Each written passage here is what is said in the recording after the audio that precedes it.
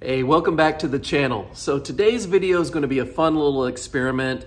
I had someone recently send me a message asking me about the different metals that are on the car. Is it made out of steel? Is it aluminum? Uh, am I concerned about rust building up? Let's go take a look.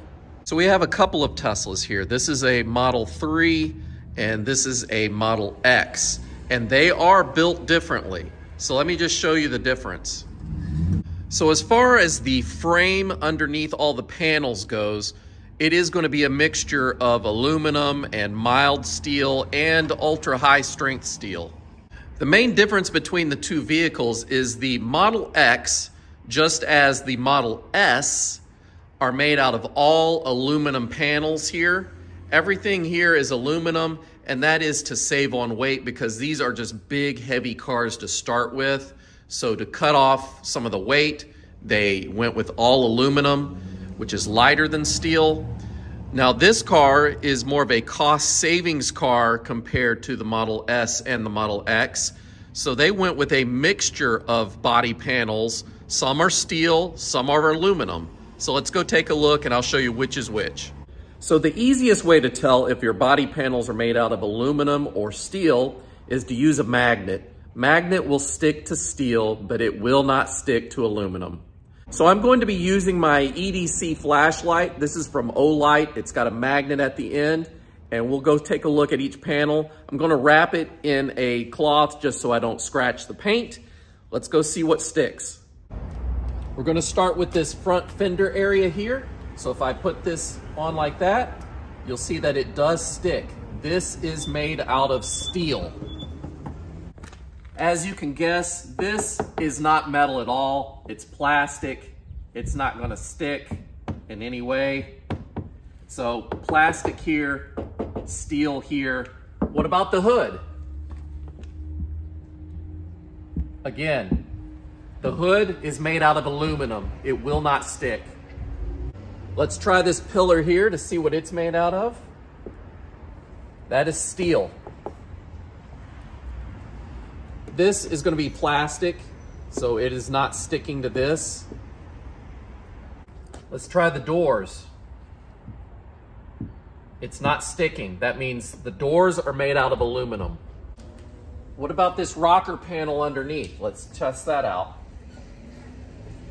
That is steel. It is sticking. If you follow the lines of that rocker panel, it does come up here, so I'm gonna assume this is all steel as well. And it is, it's sticking.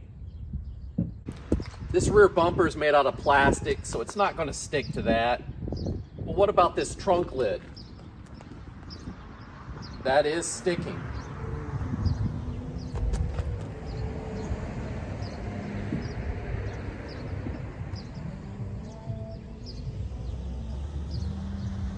So this whole area is made out of steel. And just for those that are curious, these chrome pieces that look metallic aren't really metal. They're not sticking. They may just be chrome dipped uh, plastic.